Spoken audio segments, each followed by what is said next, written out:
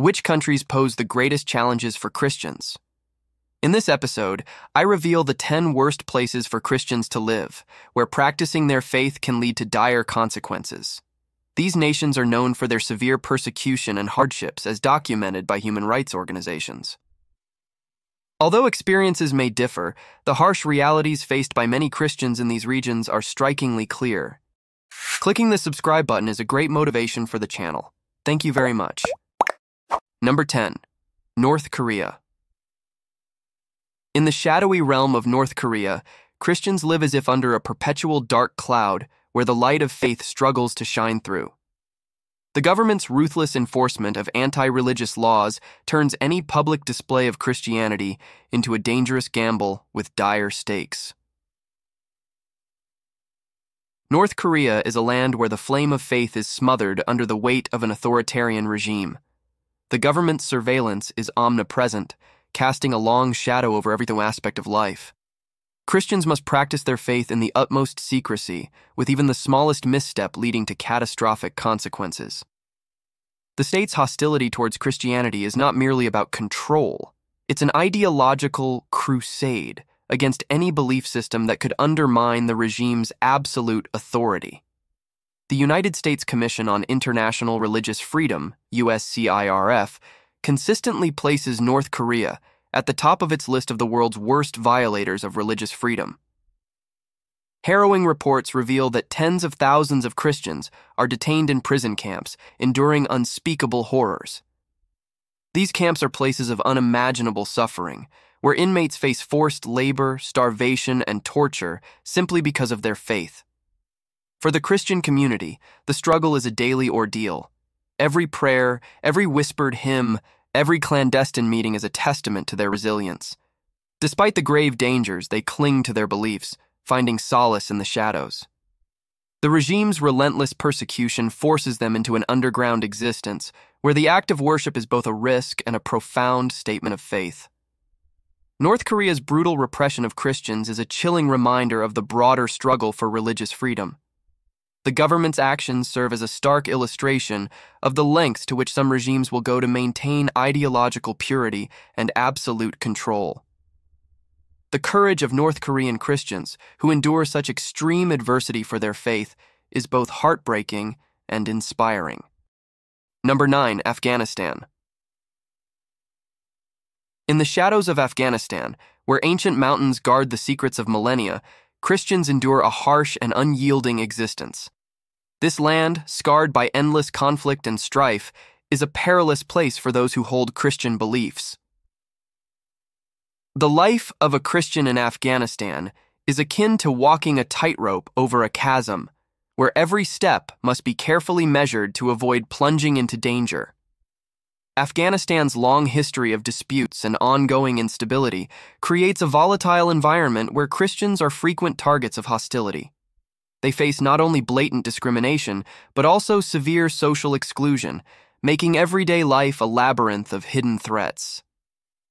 Extremist groups relentlessly hunt those who deviate from the predominant faith, leading to harrowing tales of kidnappings and violent retributions. For Afghan Christians, attending a clandestine worship service is fraught with peril. Each prayer a whisper of defiance in a land where conversion can be tantamount to a death sentence. The constant threat of exposure forces many to practice their religion in the shadows, where even family and friends may turn against them. Despite these overwhelming odds, the Christian community in Afghanistan clings to their faith with remarkable tenacity. Their courage is like a solitary candle flickering in the darkness, resilient yet vulnerable to the slightest gust. The societal pressure to conform to the dominant religion is immense, and those who diverge face dire consequences, including loss of property, liberty, and life. The plight of Afghan Christians is a stark reminder of the human cost of religious intolerance. It underscores the urgent need for international solidarity and support for these brave individuals who risk everything for their right to believe. Number 8. Somalia. In Somalia, being a Christian feels like wandering in an unrelenting desert where faith is continuously tested by the scorching heat of persecution and discrimination. Christians face formidable social and cultural barriers that cover the majority of the nation. This environment is not just metaphorically hostile, but tangibly dangerous, as numerous reports highlight the extensive discrimination against Christians. The persistent conflicts and the lack of a stable government create a stormy sea in which practicing one's faith freely becomes nearly impossible. The societal fabric in Somalia is tightly woven with threads of suspicion and hostility towards Christians, rendering their existence perilous. The unstable governance only fuels the chaos, allowing persecution to flourish unchecked. For the Christian minority, daily life becomes a struggle to survive as they navigate a world where their beliefs make them vulnerable targets. Consider the story of Amina, a fictional representation of the countless real life Christians in Somalia. Amina, who converted to Christianity in secrecy, faces daily threats from extremist groups and even her own neighbors. Her life is a constant dance of concealment hiding her faith to avoid violent repercussions. Her story reflects the harsh reality of many who must keep their beliefs hidden to stay safe, highlighting the severe risks Christians face in Somalia. Ultimately, Somalia is a treacherous land for Christians, where social exclusion and political instability converge to create a hostile environment that suffocates religious freedom. The ongoing unrest only amplifies the plight of Christians, solidifying Somalia's place as one of the most challenging countries for them to live in. Number 7. Libya. Libya stands as a stark illustration of the dire circumstances faced by Christians in certain parts of the world. In this North African nation, Christians endure relentless targeting and discrimination, a harsh reality amidst a backdrop of prolonged conflict and political instability. The nation's security landscape is akin to a volatile sea, with regions experiencing varying degrees of unrest and turmoil. Within this chaos, Christians are often singled out by hostile groups, making them vulnerable targets in an already precarious environment. These targeted attacks are not isolated incidents, but part of a troubling pattern that has intensified over recent years. The incidents range from harassment and intimidation to outright violence creating an atmosphere of constant fear and insecurity for the Christian community. Reports of these hostile acts have surged, painting a grim picture of the dangers Christians face daily. The relentless persecution they encounter is a testament to the severe religious intolerance that pervades the country.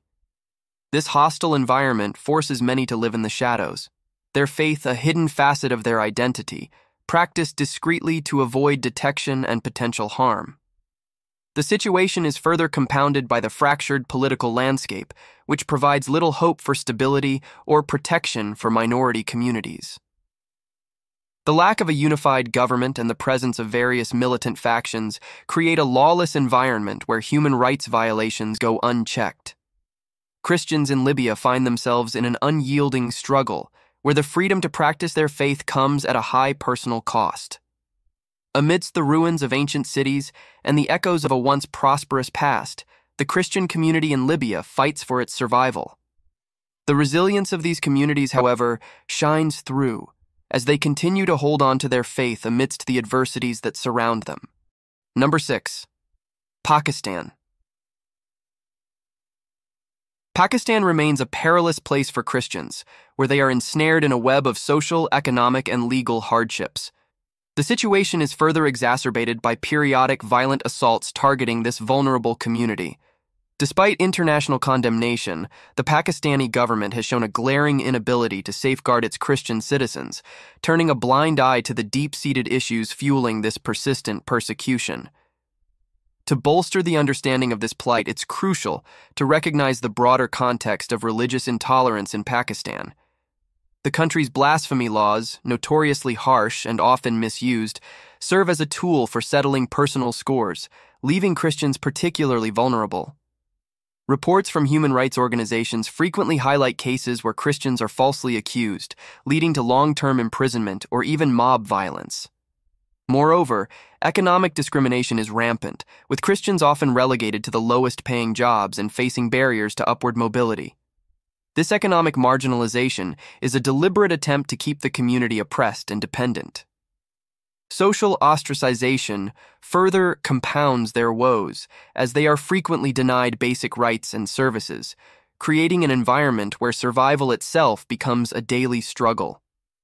For instance, a notable case involved a Christian woman, Asia Bibi, who spent nearly a decade on death row over a false blasphemy charge.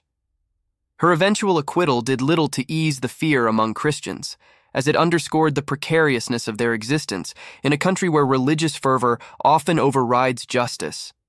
In summary, the Christian community in Pakistan lives under a cloud of fear and uncertainty, with systemic discrimination and periodic violence being a stark reality. The government's failure to address these injustices only serves to deepen the community's plight, making Pakistan one of the most challenging places for Christians to live. Number 5. Eritrea. Eritrea is a nation where the dream of religious freedom turns into a nightmare for Christians.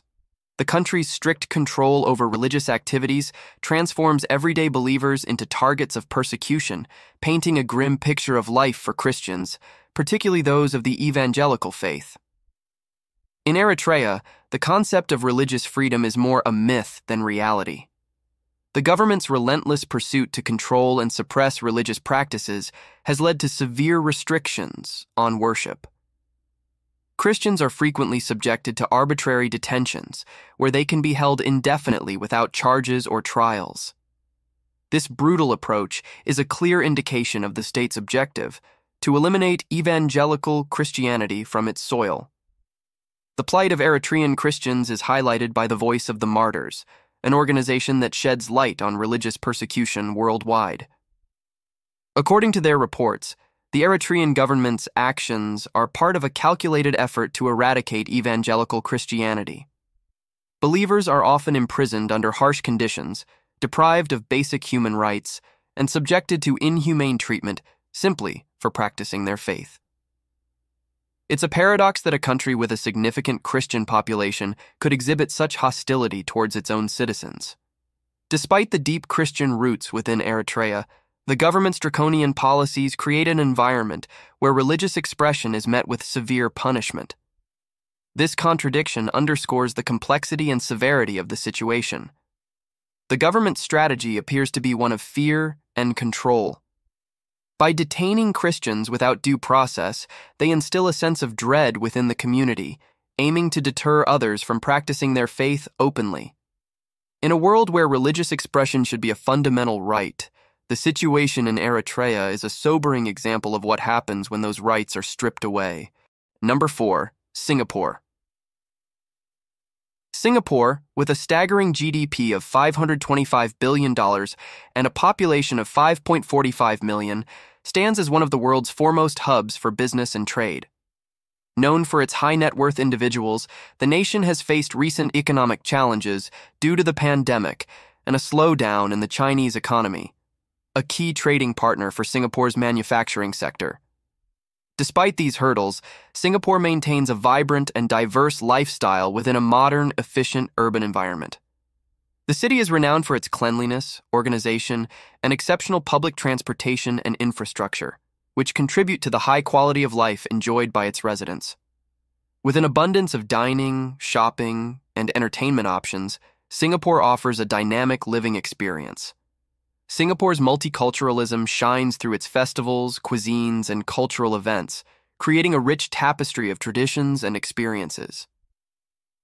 This diversity is complemented by a robust education system that prioritizes academic excellence and lifelong learning. Consistently ranking high in global education assessments, Singapore offers a variety of educational pathways through public, private, and international schools. The government places significant emphasis on skills development and vocational training, ensuring that its workforce remains competitive in the global market. Safety is another hallmark of life in Singapore.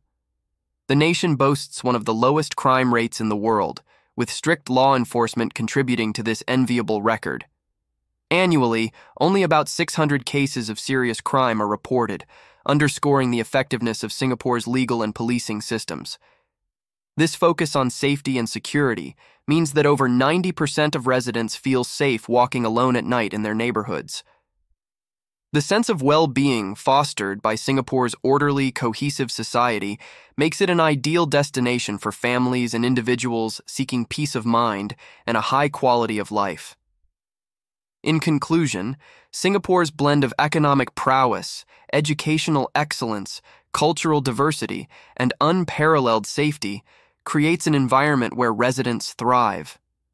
The city state's commitment to maintaining these standards ensures that it remains a top destination for global talent and investment, further solidifying its position among the richest countries in the world in 2024.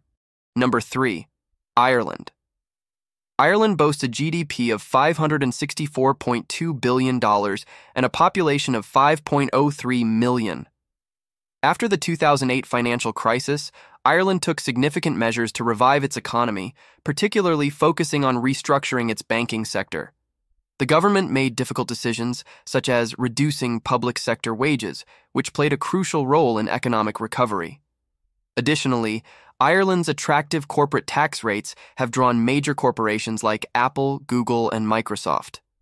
These multinational companies have significantly contributed to Ireland's economic growth, accounting for more than 50% of its economic value in recent years. Ireland offers a laid back lifestyle centered around strong community ties and outdoor activities. Its stunning landscapes, historic cities, and vibrant pub culture enhance its charm. The friendly and welcoming nature of the Irish people adds to the country's unique appeal. Daily life in Ireland often includes family gatherings, traditional music, and outdoor pursuits such as hiking, fishing, and Gaelic sports. The Irish education system is highly regarded, with a strong emphasis on academic excellence and innovation. The country provides a range of public and private schooling options, as well as esteemed universities and research institutions. Irish students benefit from a comprehensive education that fosters critical thinking and creativity. Ireland is also known for its safety, with low crime rates, especially in rural areas and smaller towns. Although urban areas with more diverse populations may experience slightly higher crime levels, the overall environment remains peaceful and secure. The government prioritizes law enforcement and community policing to ensure public safety. Whether you are a resident or a visitor, you can explore Ireland's picturesque countryside and historical landmarks with peace of mind. In conclusion, Ireland stands out not only for its economic resilience and corporate friendly policies, but also for its rich cultural heritage, educational excellence, and commitment to public safety. These attributes make Ireland a compelling destination for both living and visiting in 2024. Number 2. Macau CRR this special administrative region of China boasts a GDP of $54.68 billion and a population of $695,000. As the first and last European colony in Asia, Macau has a unique cultural heritage that blends Chinese and Portuguese influences. Despite the severe impact of the COVID 19 crisis, including stringent travel restrictions and lockdowns, Macau's economy is rebounding rapidly due to its distinctive capitalist framework, which sets it apart from mainland China. The primary drivers of its economy are the tourism and gaming industries, which play a pivotal role in its economic resilience and growth. Macau is renowned for its vibrant atmosphere, characterized by numerous casinos, entertainment venues, and cultural events. Both residents and visitors enjoy a rich mix of culinary delights, architectural styles, and traditions. The skyline of Macau is a striking blend of modern skyscrapers and historic buildings, reflecting the region's ability to merge the old with the new. The education system in Macau is highly esteemed, emphasizing academic excellence with several schools offering bilingual education in Chinese and Portuguese. The University of Macau, the region's leading institution for higher education, is notable for its research capabilities and international partnerships. As of 2019, Macau's adult literacy rate exceeds 95%, highlighting the strong emphasis on education. Macau also maintains a remarkably low crime rate, ensuring the safety and security of both residents and tourists. The region's law enforcement, including the Macau Public Security Police Force, is effective in crime prevention and swift in addressing minor offenses. Recent statistics indicate that Macau SAR has one of the lowest crime rates globally, with tourist areas, particularly the bustling casino districts, prioritizing enhanced security measures to provide a secure environment for visitors. This focus on safety further reinforces Macau's appeal as a thriving, dynamic region. In summary, Macau SAR's impressive economic recovery, driven by its robust tourism and gaming sectors, combined with its rich cultural heritage, excellent education system, and low crime rate, make it one of the richest and most fascinating places in the world to live in or visit. Number 1. India. India, a nation once celebrated for its vibrant mosaic of cultures and religions, is now experiencing a disheartening rise in religious intolerance. This shift, driven by an aggressive surge in Hindu nationalism, has placed minority communities, particularly Christians, in the crosshairs of escalating hostility and violence. Despite constitutional safeguards and occasional governmental initiatives to address these issues, Christians in India find themselves increasingly marginalized and targeted. The landscape of India for Christians today is reminiscent of a fortress under siege Churches and homes, sacred spaces for worship and community, have become frequent targets of vandalism and destruction. In many regions, Christians face severe restrictions on practicing their faith openly, and public expressions of Christianity can provoke threats or attacks. The situation is exacerbated by the lack of adequate response from local authorities, who often turn a blind eye to the atrocities or, worse, are complicit in the acts of violence. Beyond the statistics, personal stories reveal the human cost of this rising intolerance. For instance, in rural areas, Christian families live under constant fear, knowing that their homes could be attacked at any moment. In urban centers, Christians might face discrimination in the workplace or in educational institutions, subtly yet effectively pushing them to the fringes of society. This pervasive atmosphere of fear and insecurity mirrors a dark cloud overshadowing their everyday lives. In the face of such adversity, many Christians in India continue to show remarkable resilience. Community networks provide support and solace, with underground churches and secret gatherings becoming lifelines for faith practice. International organizations and human rights groups are increasingly raising their voices, calling for more robust actions to protect religious minorities in India. Clicking the subscribe button is a great motivation for the channel. Thank you very much.